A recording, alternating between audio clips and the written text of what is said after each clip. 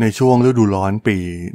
1956 ที่มหาวิทยาลัยดาร์ตมัธในรัฐนิวแฮมเชียร์สหรัฐอเมริกา เหล่านักวิชาการชั้นนำเนี่ยได้รวมตัวกัน ในการประชุมที่เรียกได้ว่าจะเปลี่ยนแปลงโลกของเทคโนโลยีไปตลอดกาลการประชุมครั้งนั้นนำโดยจอห์นแมคคาร์ธีนะครับนักวิจัยหนุ่มผู้มีวิสัยทัศน์ที่กว้างไกลเป็นอย่างมาก พร้อมด้วยปรมาจารย์อย่างคล็อดแชนนอนนะครับ ผู้ให้กำเนิด Information Theory และ Herb Simon ผู้ได้รับทั้งรางวัลโนเบล และรางวัลทัวริงจุดประสงค์ของการประชุมครั้งนี้ก็คือการหารือถึงความเป็นไปได้ในการสร้างเครื่องจักรที่มีความสามารถคล้ายกับมนุษย์ ทั้งการใช้ภาษา การคิดเชิงนามธรรม และการแก้ไขปัญหาที่มีความซับซ้อนนะครับแมคคาที่เองเนี่ยได้บัญญัติศัพท์ ปัญญาประดิษฐ์หรือ AI ขึ้นเป็นครั้งแรกในการประชุมครั้งนี้ ซึ่งกลายเป็นจุดเริ่มต้นของการศึกษา และพัฒนาเทคโนโลยี AI อย่างจริงจังในอีกหลายทศวรรษต่อมา เรื่องราวเรื่องนี้มีความน่าสนใจอย่างไรนะครับ ไปรับฟังกันได้เลยครับผม Welcome to Geek Story. Powerful story. Inspire people.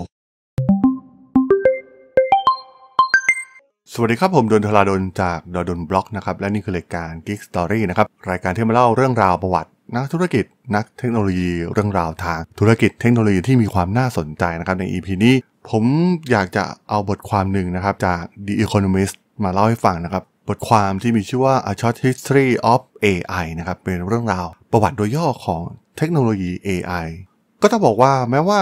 แนวความคิดเรื่องเครื่องจักรที่มันสามารถคิดได้เองเนี่ยมันมีมาก่อนหน้านี้แล้วนะครับ โดยนักคณิตศาสตร์อัจฉริยะอย่างอลันทัวริงและจอห์นฟอนนอยมันนะครับ แต่การประชุมที่มหาวิทยาลัยดาร์ตมาร์ตเนี่ยถือว่าเป็นการรวมตัวครั้งสำคัญของนักวิทยาศาสตร์หลากหลายสาขานะครับเพื่อร่วมที่จะสารฝันนี้ให้มันเป็นจริงให้ได้นะครับ ในช่วงแรกของการพัฒนา AI เนี่ยแบ่งออกเป็น 2 แนวทางหลักนะครับ ก็คือระบบที่ใช้ตรรกะและกฎเกณฑ์ที่มีความชัดเจน กับระบบที่ใช้ความน่าจะเป็นและการเรียนรู้นะครับ ทั้งสองแนวทางเนี่ยต่างมีข้อดีและข้อจำกัดของตนเอง นักวิจัยจึงถกเถียงกันอย่างเข้มข้นว่าวิธีการใดเนี่ยจะนำไปสู่ AI ที่ชาญฉลาดได้จริง เมื่อย่างเข้าสู่ทศวรรษที่ 1980 นะครับ แนวคิดแบบ Expert System นะครับได้รับความนิยมอย่างสูง ด้วยความเชื่อที่ว่าการรวบรวมความรู้ของผู้เชี่ยวชาญมนุษย์ เข้ากับตรรกะทางคอมพิวเตอร์เนี่ยจะสร้าง AI ที่มีความสามารถเทียบเท่าหรือเหนือกว่ามนุษย์ได้นะครับรัฐบาลญี่ปุ่นเนี่ยถึงกับทุ่มงบประมาณมหาศาลในการสนับสนุนการวิจัยในแนวทางนี้นะครับ แต่ว่า ความจริงอันโหดร้ายเนี่ยมันก็เกิดขึ้นนะครับ เพราะว่าระบบ Expert System หรือว่าระบบผู้เชี่ยวชาญเนี่ยมันไม่สามารถที่จะรับมือความซับซ้อน และไม่แน่นอนของโลกแห่งความเป็นจริงได้นะครับ ความล้มเหลวนี้ก็ทำให้เทคโนโลยี AI เนี่ยเริ่มที่จะตกต่ำลงมานะครับนักวิจัยหลายคนเนี่ยถึงกับหลีกเลี่ยงการใช้คำว่า AI นะครับ เพราะว่ามันได้กลายเป็นสัญลักษณ์ของความล้มเหลว และดูเหมือนว่ามันเป็นเพียงคำโฆษณาชวนเชื่อเพียงเท่านั้นนะครับ แต่แม้เส้นทางมันจะมืดมนอย่างไรก็ตามนะครับ มันก็ยังมีประกายแห่งความหวังอยู่บ้าง นักวิจัยกลุ่มหนึ่งนะครับยังคงมุ่งมั่นศึกษาแนวทางใหม่ๆนะครับ โดยหันมาสนใจการจำลองการทำงานของสมองมนุษย์ ผ่านรูปแบบของเครือข่ายประสาทเทียม หรือว่า neural network นั่นเองนะครับ ซึ่งแนวคิดนี้เองเนี่ยมันก็มีมาตั้งแต่ทศวรรษที่ 1940 แล้วนะครับ แต่ว่าตอนนั้นเนี่ยด้วยข้อจำกัดทางด้านฮาร์ดแวร์เนี่ยทำให้มันถูกละเลยไปเป็นเวลานานนะครับ เครือข่ายประสาทเทียมเนี่ยทำงานคล้ายกับสมองมนุษย์นะครับ โดยมีเซลล์ประสาทจำนวนมากเชื่อมต่อกัน แต่ละเซลล์เนี่ยสามารถส่งและรับสัญญาณจากเซลล์อื่น ๆ ได้นะครับ ความพิเศษของระบบนี้ก็คือมันไม่ได้ถูกโปรแกรมด้วยกฎตายตัว แต่ว่ามันจะเรียนรู้จาก sample ตัวอย่างจำนวนมากนะครับ มันคล้ายๆกับเด็กที่เรียนรู้โลกผ่านประสบการณ์นั่นเองนะครับ ในช่วงแรกเนี่ยเครือข่ายประสาทเทียมถูกใช้ในงานง่าย ๆ นะครับ เช่น การอ่านตัวเลขที่เขียนด้วยลายมือ แต่ว่านักวิจัยเนี่ยเชื่อว่าหากเพิ่มความซับซ้อนของเครือข่ายเหล่านี้ไปเนี่ยมันจะสามารถทำงานที่ยากขึ้นได้นะครับ แต่ปัญหาก็คือยิ่งเครือข่ายซับซ้อนเท่าไหร่ ก็ต้องยิ่งใช้พลังในการประมวลผลมากขึ้นเท่านั้น จุดเปลี่ยนครั้งสำคัญเนี่ยเกิดขึ้นในปี 2009 นะครับ เมื่อนักวิจัยจากมหาวิทยาลัยสแตนฟอร์ดเองเนี่ยค้นพบว่าการใช้หน่วยประมวลผลกราฟิกหรือ GPU แทนหน่วยประมวลผลกลาง หรือว่า CPU ทั่วไปเนี่ยสามารถเพิ่มความเร็วในการฝึกเครือข่ายประสาทเทียมได้ถึง 70 เท่านะครับ และนี่ก็คือการเปิดประตูสู่ยุคใหม่ของ AI อย่างแท้จริง ด้วยพลังการประมวลผลที่เพิ่มขึ้นอย่างก้าวกระโดด ประกอบกับข้อมูลจำนวนมหาศาลบนอินเทอร์เน็ตนะครับ เครือข่ายประสาทเทียมจึงสามารถเรียนรู้ได้ลึกซึ้งและมีความซับซ้อนยิ่งขึ้นนะครับ จนเกิดเป็นเทคโนโลยี Deep Learning หรือว่าการเรียนรู้เชิงลึกที่สร้างปรากฏการณ์ครั้งใหญ่ในวงการ AI นะครับความสามารถของเทคโนโลยี Deep Learning เองเนี่ยได้รับการพิสูจน์อย่างชัดเจนนะครับในการแข่งขัน ImageNet Challenge ในปี 2012 นะครับ เมื่อทีมของเจฟฟ์ฮินตันนะครับจากมหาวิทยาลัยโทรอนโต สามารถสร้างระบบ Image Recognition ที่มีความแม่นยำสูงถึง 85%นะครับซึ่งถือเป็นการก้าวกระโดดครั้งสำคัญนะครับภายในเวลาเพียง 3 ปี ความแม่นยำของเทคโนโลยี Image Recognition ด้วยเทคโนโลยี AI ก็เพิ่มสูงขึ้นเป็น 96%นะครับซึ่งมันเหนือกว่าความสามารถเฉลี่ยของมนุษย์อีกนะครับในตอนนั้น ความสำเร็จนี้เองเนี่ยทำให้เทคโนโลยี Deep Learning ถูกนำไปประยุกต์ใช้กับงานอื่นๆอีกมากมายนะครับ ไม่ว่าจะเป็นการรู้จำเสียงพูดนะครับ การแปลภาษา หรือแม้แต่การวิเคราะห์ภาพทางการแพทย์นะครับ ตอนนั้นเนี่ยเราจะเห็นผลิตภัณฑ์ AI มากมายในชีวิตประจำวันนะครับ ไม่ว่าจะเป็นผู้ช่วยเสมือนอย่าง Alexa หรือว่าบริการแปลภาษาอัตโนมัติบนเว็บเบราว์เซอร์นะครับแต่การปฏิวัติครั้งใหญ่เนี่ยมันยังไม่หมดเพียงเท่านั้นนะครับ ในปี 2017 นะครับ มีการคิดค้น Transformer ซึ่งมันเป็นวิธีการใหม่นะครับ ในการเชื่อมต่อระหว่างเซลล์ประสาทเทียม Transformer เองเนี่ยช่วยให้ AI สามารถเข้าใจบริบท และความสัมพันธ์ระหว่างข้อมูลได้ดียิ่งขึ้นนะครับ ซึ่งสุดท้ายมันก็นำไปสู่การพัฒนา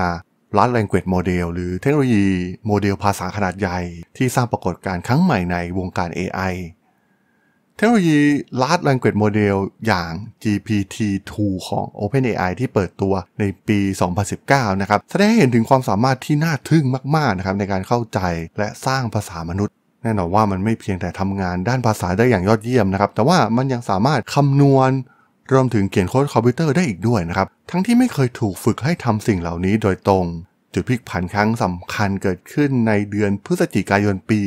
2022 นะครับ เมื่อ OpenAI เนี่ยเปิดตัว ChatGPT ซึ่งเป็น AI chatbot ที่ใช้งานง่ายผ่านเว็บเบราว์เซอร์ความสามารถอันน่าทึ่งของ ChatGPT ในการตอบคำถาม เขียนบทความ หรือแม้แต่เขียนโค้ดโปรแกรมนะครับทำให้มันกลายเป็นผลิตภัณฑ์ที่มีผู้ใช้งานเติบโตเร็วที่สุดในประวัติศาสตร์โลก ปรากฏการ ChatGPT เนี่ยทำให้เกิดการแข่งขันการพัฒนา AI ของชาติตะวันตกครั้งใหญ่นะครับ โดยบริษัทยักษ์ใหญ่อย่าง Google และ Microsoft เนี่ยต่างเร่งพัฒนา AI chatbot ของตนเองออกมาแข่งขัน นอกจากนี้ยังมีการพัฒนา AI ในรูปแบบอื่นๆอีกมากมายนะครับ เช่น Stable Diffusion และ DALL-E นะครับที่สามารถสร้างภาพจากคำอธิบาย หรือว่าโมเดลที่สร้างเสียงพูด และดนตรีที่มีความสมจริงอย่างน่าทึ่ง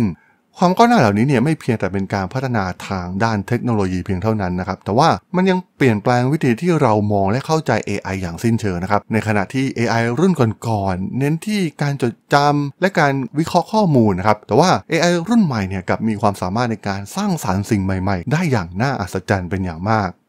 ChatGPT และคู่แข่งอย่าง Gemini จาก Google หรือว่า Claude จาก Anthropic นะครับ ไม่ได้เพียงแค่ประมวลผลข้อมูลเพียงเท่านั้นนะครับ แต่ว่าพวกมันยังสามารถโต้ตอบกับมนุษย์ได้อย่างเป็นธรรมชาติ มันเสมือนกับว่ามันมีความเข้าใจในภาษา และความคิดเชิงนามธรรมอย่างแท้จริงนะครับ มันสมดังความฝันของจอห์นแมคคาที่ผู้บุกเบิก AI คนสำคัญที่คิดไว้ตั้งแต่แรกนะครับ อย่างไรก็ตามความก้าวหน้าอันรวดเร็วของ AI เนี่ยก็นำมาซึ่งคำถามและข้อกังวลต่างๆ มากมายนะครับ โดยเฉพาะในแง่ของเรื่องจริยธรรมและผลกระทบต่อสังคม เนื่องจาก AI เนี่ยเรียนรู้ข้อมูลจำนวนมหาศาลบนอินเทอร์เน็ตนะครับ มันจึงอาจซึมซับและผลิตซ้ำอคติที่มีอยู่ในสังคมมนุษย์ได้นะครับ นอกจากนี้ยังมีความกังวลเกี่ยวกับการใช้ AI ในทางที่ผิด เช่น การสร้างเฟกนิวหรือว่าการละเมิดความเป็นส่วนตัว ในขณะเดียวกัน AI ก็เปิดโอกาสมากมายนะครับในการพัฒนาคุณภาพชีวิตของมนุษย์ ไม่ว่าจะเป็นการช่วยวินิจฉัยโรคได้แม่นยำขึ้น การพัฒนายารักษาโรคได้รวดเร็วขึ้น หรือว่าการสร้างนวัตกรรมด้านต่างๆ ที่เราอาจจะคาดไม่ถึงนะครับ ปัจจุบันเนี่ยเรียกได้ว่าเราอยู่ในจุดเปลี่ยนครั้งสำคัญของประวัติศาสตร์ AI นะครับ ความฝันของบรรดานักวิทยาศาสตร์ผู้บุกเบิกเมื่อ 70 ปีก่อนเนี่ยมันกำลังจะกลายเป็นจริงนะครับ แต่ว่าสิ่งที่เกิดขึ้นพร้อมกันก็คือ เราก็ต้องเผชิญกับความท้าทายใหม่ๆ ที่ไม่เคยมีมาก่อนนะครับ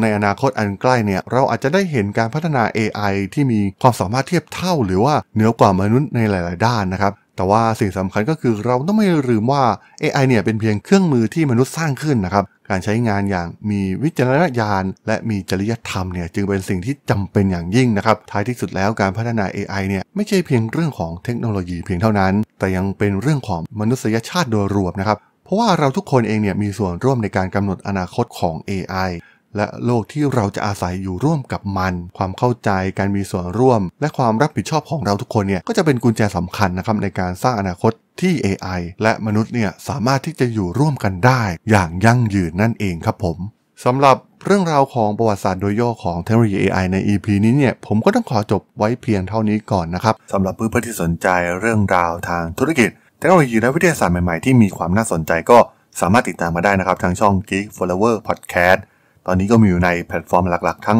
Podbean Apple Podcast Google Podcast Spotify YouTube แล้วก็จะมีการอัปโหลดลงแพลตฟอร์ม Blockdit ในทุกๆ ตอนอยู่แล้วด้วยนะครับ ถ้ายังไงก็ฝากกด Follow ฝากกด Subscribe กันด้วยนะครับ แล้วก็ยังมีช่องทางหนึ่งในส่วนของ Line add ที่ a t h a d o n t h a R A D H O L สามารถแอดเข้ามาพูดคุยกันได้นะครับ ผมก็จะส่งสาระดีๆ พอดแคสต์ดีๆ ให้ท่านเป็นประจำอยู่แล้วด้วยนะครับ ถ้าอย่างไงก็ ฝากติดตามทางช่องทางต่างๆ กันด้วยนะครับสำหรับใน EP นี้เนี่ยผมต้องขอลากันไปก่อนนะครับ เจอกันใหม่ใน EP หน้านะครับผม สวัสดีครับ